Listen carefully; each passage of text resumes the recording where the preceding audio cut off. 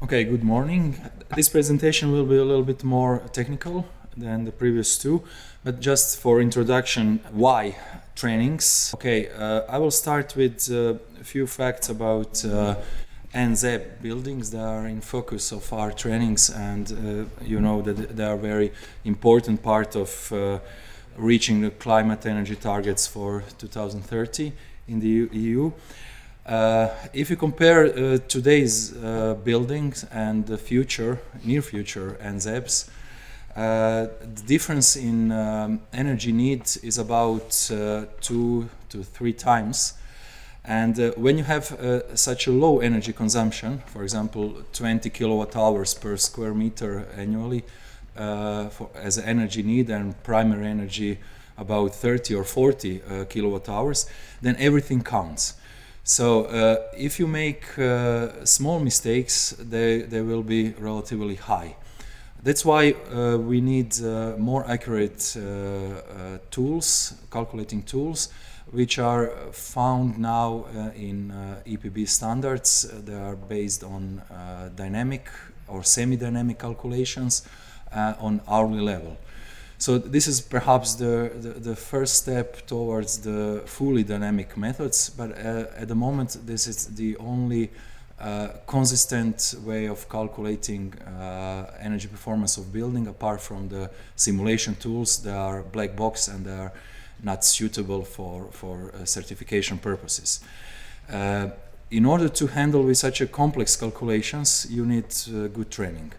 Um, we believe that uh, these trainings will will be uh, in very near future urgent and people already ask for them because uh, with uh, current methods uh, it's quite impossible to achieve uh, enough accurate results for such a small or low consumption energy consumption buildings. So this is the, the, the main reason why we need good trainings apart from good software, good calculation tool that will follow uh, this calculation because it's impossible to do anything without it. But more on this topic uh, will be dealt in presentation of Laurent. So I'll go just quickly through the other uses of uh, EPB standards. Uh, it's already outlined in, in, previous presentations. Beside the uh, issuing energy performance certificates, they can be also used in designing stage, and very often they are, uh, for verification of minimum requirements. And uh, also they can be used, uh, perhaps we'll have some time to show you, in sizing of the system components. For example, uh, the power of the boiler or uh, size of solar collectors.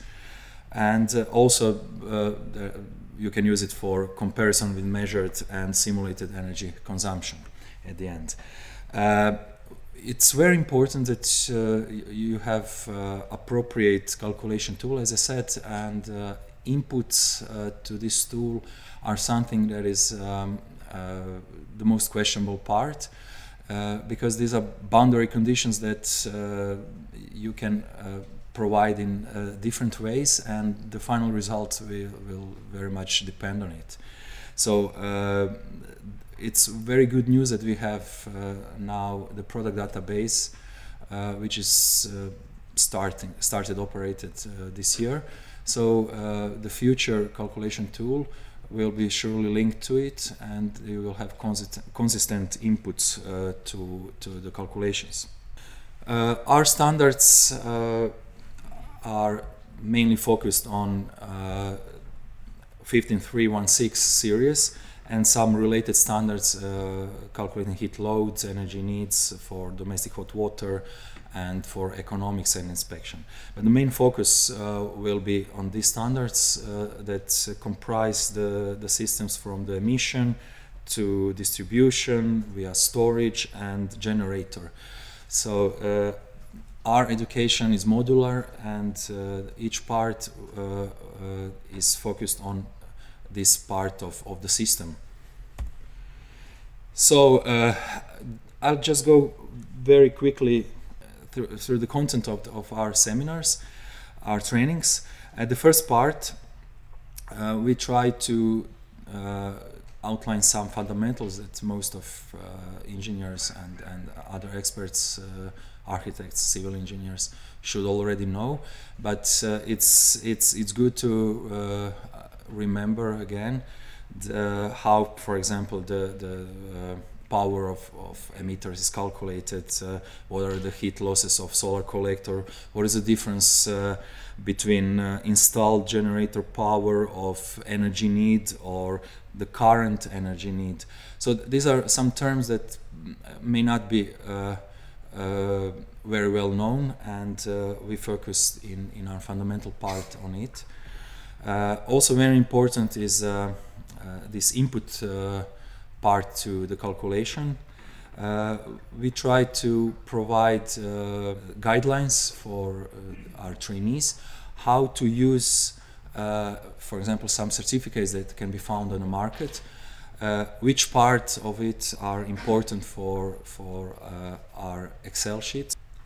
In the third part, we go to the main calculation procedure we try to explain the whole procedure uh, via some uh, uh, flow flow charts, along with basic equations. We don't go to the every equation because in each standard you have a high number of equations. In average 60 70 80 that's a lot of equations. It's impossible to uh, teach people each of these but we focus on the, the most important ones. Um, and the output values are something that is uh, uh, related to the other modules. We discussed uh, in this part which output values are standalone or can be used for as inputs to the other modules. And uh, after we complete this theoretical part, we we go uh, to the spreadsheets, which is a practical part of the trainings where we try through examples to, to teach people how to use uh, our spreadsheets and to perform overall calculations. So we use uh, handbooks for, for this purpose. Uh, handbooks are uh, array of formulas uh, written in the exact order as they're implemented in Excel. And uh, there are also some ex additional explanations in it with some input values uh, outlined. So it's a good resume of the standard and calculation procedure. So they can be also used uh, as a supplement to the technical reports that each standard uh, has. Uh, then we focused on uh, filling in um, input spread uh, input sheets of our Excels and discuss whether to use product data or, or or to use some default uh, values. Most of inputs are default, so it's very convenient for a user. You don't need to know anything, you just use uh, your default data. If you have product data, it's perfect, then you can use it instead. And uh, the last part of uh, each module deals with uh, uh, results of the analysis, which is a parametric analysis. We discuss the most influencing parameters. For example, in this um, slide you can see the temperatures in the storage. I will refer in this presentation to the uh, solar hot water system uh, connected to the storage and you see the temperatures in the different layers. Uh, we also have some nice uh, graphical presentations of the temperatures in the layers and we explain uh, the calculation procedure step by step uh, in this graphical interface which is easy to understand for, for our trainees how actually procedure, which is very complex, uh, works. And then uh, we uh, give some examples of the outputs. Um, each spreadsheet has uh, tables and the diagrams where you can analyze more in detail uh, everything that you want. We also have uh, here in diagram you can you can see the, the temperatures in the in the hot water uh, boiler. Um, and then uh, in each presentation we have some solved um, uh, examples that should out outline the influence of the most important uh, parameters. For example, in this case, we have uh, a comparison uh, between three cases hot water storage volume uh, 500 liters down to 200 liters and we see the influence of the uh, total energy consumption uh, this volume of 300 liters has the lowest consumption because uh, it yields the lowest temperatures in a solar loop the higher volume storage has even lower temperatures, but it has higher storage losses. So these are good examples how uh, some parameters can influence uh, the design of the, of the system. And we also uh, have in this example, uh, it might be interesting for, for those dealing, uh, working with solar systems, how, uh, the, for example, the, the mass flow in the solar loop or the total consumption influence the collected uh, energy on a collector so we see that uh, the higher is the consumption we get uh, more energy out of our solar system. So um, at the end each trainee will get some tasks to make integral calculation if it, he or she applies for all modules. And here you can see the influence uh, of the different uh, system setups, uh, for example, condensing boiler and solar system or heat pump, or we, we make examples with biomass boiler as well. Uh, 12 uh, square meters of collectors or only 4 square meters just for hot water boil, uh, hot water, uh, domestic hot water purposes. And you see uh, comparison between these solutions. So this is example how the standards of these calculations can be used for finding some optimum from technical point solutions. And also one part of, of our trainings will be devoted to, to economical evaluation as well. So uh, basically the training is interactive, especially in the part uh, where uh, trainees are working with uh, spreadsheets. Uh, the emphasis is on uh, nearly zero energy buildings, of course, and yeah, we, we hope that this will work, that trainees do some examples by themselves as a homework. We'll test this in one month in Zagreb when we have a pilot. I have to say that it was uh, very good interest. In few hours, we reached like 40 people, and we end the uh, applications with this number. If we continued, we, we would even have more applications. So uh, we feel that people uh, um, are interested in this kind of uh, trainings. They they want to know the new things, and especially in the light of uh, new new regulations asking for calculation of NZEBs. And most of uh, engineers, uh, experts that we are in contact, uh, are not very familiar with these calculations. The, many of them even don't know what is uh, uh, primary energy, what is delivered energy, and uh, stuff like this. So um, we see a, a, good future for these trainings. Um, I hope I'm right. We'll see very soon how the things will go. And uh, yeah, as, as Jana said before, uh, all experts that are interested in becoming certified experts, they should uh, pass some exams. And um, uh, training materials are listed here, they were already mentioned. Uh, so uh, I, I will try to show you very quickly, because I have five minutes left, how our materials looks like. So let me start with um, our presentations, how they look like. Maybe I can start with uh, this one for solar part. they were all completed in a, in the first half of the project, so they are available on the share. Um, not already to the public, but they will be used in, in our training. So in the first part, uh, uh, we present uh, uh fundamentals. We have uh, explanations here for the tra trainers.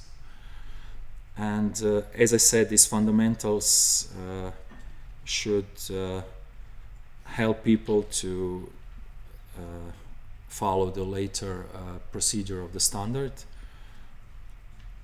I don't have time for very, it's just quick quick survey what you can find in presentations. After fundamentals, uh, you have uh, some input uh, data part with uh, I already shown the slides. Uh, just this is just uh, explanation of, of the product data sheets, and then you have calculation method with some basic formulas, as I said, and then output data and then examples. Um, if if we go to the handbook uh, for, for example, this standard, you will see uh, that uh, it contains the, the all formulas from the standards and more, some explanations how to use it. So this is a handbook, but at the same time is a, I would say, a flowchart for Excels. And anyone can use it and create his or her own Excel sheet or any software producer can also use it for the same purpose. Okay, and then just to show you some examples from the our spreadsheets, how they are organized. It takes time, I'm sorry. it's actually uh, Visual Basic programmed Excel so it's a little bit heavy. Okay. So uh, in HXL uh, you have uh, interface uh, for example in this uh, solar storage part you can you can choose uh, if you want to use it for space heating domestic hot water or both where you have heat exchanger what type of heat exchanger you have uh, how it's your uh, connection. You have heat exchanger or direct connection. Here you put the position of your heat exchanger in because the each storage is divided into layers, and here you put uh, uh arbitrary volume of, of your layers, and you define the heat losses here. Uh, it can be default or product data, and you insert here the, the flow in the solar loop as well. Then you have uh, input series. This is something that uh, our trainees don't have to uh, worry about. This is automatic part, but just to show you what is included. Uh, here you have method input and method calculation uh, with uh, all equations here. They are in standard and you can follow step-by-step -step calculation procedure here if you like to here in method output you have the basic results and uh, also these are output series that are connection to the other modules and here you have uh, output interface where, uh, where you can follow the temperatures in a storage tank and I prepared one short example just for you to show you how the training may look like. Uh, here you see the temperatures in a storage tank uh, uh, at the beginning of a day. You have some temperature certification of course. And when we start using water the temperatures in upper layers fall down. And in one moment you have heater activated and you can see here uh, this is step by step explanation how the procedure goes and you see the, the, the, the additional heater is turned on in this moment and if you go Further, uh, we'll arrive to the moment when the solar loop starts heating. For example, here we, we started with, with solar heat exchanger working. And this is the way how to present people results. If we want, we can, we can go uh, back and show all these uh, values here uh, with uh, I don't know in each arbitrary time step. Okay, I'm finished. So you see the temperatures in the in the upper lower layers. You you see when the the um, additional heaters were turned on, etc., etc., etc. So there's a, a, lot of possibilities in these Excels for very detailed analysis or just uh, the main outputs. Uh, it depends uh, to which level of details you want to go. So thank you very much.